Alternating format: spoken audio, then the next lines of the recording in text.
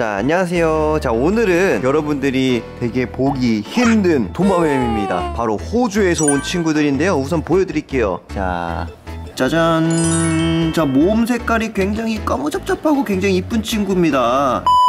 짜잔. 지금 이 정도 사이즈는 베이비 사이즈고요. 나중 되면은 좀더 성장을 하는데 그렇게 많이 성장을 하지 않습니다. 근데 얘네들은 좀 아쉬운 점이 baby 때는 엄청 거무잡잡하고 blotched라는 이름에 걸맞게 등에 이렇게 노란 점들이 숑숑숑 나 있어서 엄청나게 귀엽고 핸들링도 가능한 바로 blotched gecko인데요. 자 약간 crested gecko 약간 맨들맨들한 crested gecko라고 생각하시면 될 것 같아요. 이게 지금 조명을 굉장히 세게 틀었는데도 거무잡잡한 게 확실히 보이죠? 자 이 친구들은 crested gecko랑 사육 방법이 똑같습니다. 그리고 사육장 안에 꾸미는 것도 여러분들이 제각각인데요. 지금 이런 식으로 탈피를 하기도 해요. 오 탈피를 하루 만에 해놨네요. 총 6마리가 있었는데 한 마리는 오자마자 분양이 됐고요. 지금 여기 두 마리가 여기 들어가 있어요. 야, 야 나와봐. 야, 야 나와. 야, 너 왜 거기 들어가 있어? 나와봐. 진짜 귀엽죠? 자 이 친구들을 사육 방법에 대해서 알려드리도록 하겠습니다 오 점프 잘하는데. 자 방금 말씀드렸듯이 이 친구들은 crested gecko랑 사육 방법이 똑같습니다. 그래서 이런 대나무를 써서 이렇게 은신처도 만들어줘도 좋고요. 짠. 이거는 이제 가지 유목인 그냥 유목을 그냥 안에 넣어줘서 세팅을 하는 겁니다. 자 이런 것도 쓸 수가 있고요. 자 짜잔. 이것은 바로 인조 덩쿨입니다. 자 이거를 뭐 대나무나 유목이나 아니면 백업 아니면 뭐 정글바인에 이런 데다가 이렇게 슈슈슈슉 감아서 자연에 있는 느낌처럼 만들어 주셔도 되고요. 방금 말씀드렸듯이 정글바인을 이렇게 넣어 주셔도 됩니다. 그리고 이것은 사각 백업. 아 방금 말씀드렸듯이 이거를 인, 인조 덩쿨을 이런 식으로 감아서 쓰셔도 됩니다. 자 사실 이거를 꾸미는 방법은 여러분들 제 각각 마음이에요.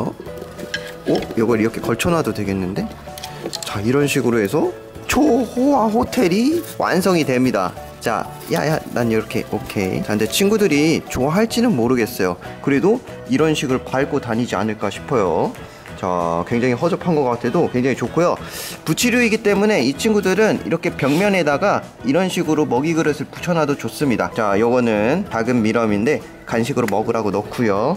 그 다음에 여기 같은 경우에는 이제 슈퍼푸드를 만들어 주려고 합니다. 지금 굉장히 무서운지 저기 위에 다 숨어 있어요. 자 아직까지는 베이비라서 대신 낯을 가리는 것 같지만 그래도 시간이 지나면 사람 손을 무서워하지 않을 겁니다 자 우선 대나무에 들어가 있는 친구도 있고 한데 우선은 먹이는 크레랑 똑같이 작은 귀뚜라미를 먹고요. 그 다음에 슈퍼푸드와 영양제로도 충분히 충당이 됩니다. 사육 온도 같은 경우에는 20도에서 28도 사이가 굉장히 좋을 것 같고요.